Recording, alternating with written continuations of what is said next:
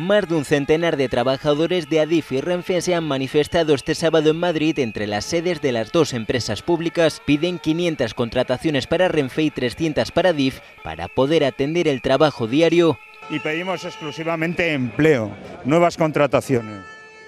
Estamos dispuestos a trabajar en esa línea y a, llegar a acuerdos, pero estas empresas necesitan nuevos trabajadores. Además critican la conservación de los trenes en España. Una política de externalizaciones constantes en asuntos tan importantes como el mantenimiento integral de los trenes, el mantenimiento de las infraestructuras y en definitiva en todos los aspectos de eh, que configura un ferrocarril al servicio de la ciudadanía. Los sindicatos también temen que desmantelen el servicio público y advierten sobre posibles problemas de las empresas privadas en el sector. Pero la experiencia del Reino Unido, la experiencia de Argentina, demuestra que cuando se entrega la, eh, infraestructura, cuando se entrega la operación a empresas privadas que ponen por encima de la rentabilidad social, de la seguridad, de la calidad, ponen por encima de todo eso la obtención de beneficios, pues empiezan a aparecer accidentes y empieza a convertirse en un absoluto desastre el ferrocarril, que es hacia donde nos quiere llevar el Partido Popular y nosotros no queremos que eso sea así. Los empleados han llegado a la capital desde varios puntos de España para intentar poner remedio a una situación que según ellos puede poner en peligro el servicio ferroviario público.